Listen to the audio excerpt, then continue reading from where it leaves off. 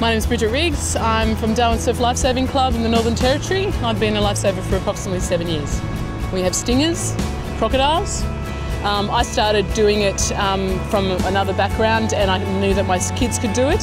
I think it's great if you're a parent to try to start just helping with your kids and being there and supporting the age manager. Then you can go off and doing some marshalling, maybe getting your level one official, um, and then you can go off and be an age manager yourself. There are so many different things. You can either go in fast track or you can go slower. That's what I love about it, that it's just the community feel about it. I think it's a great thing to be able to be a lifesaver. It's a great thing to do your bronze. And I think that it's good to try to get yourself to capacity build to do that. But there are so many different things that people can do in lifesaving at different levels. We need more funds in terms of being able to get across more people and, and help people in distress. In different facets of, you know, of your life, you know, you're probably un unknown that you're standing next to a lifesaver, someone who, who has enabled someone to make sure that they got home at night.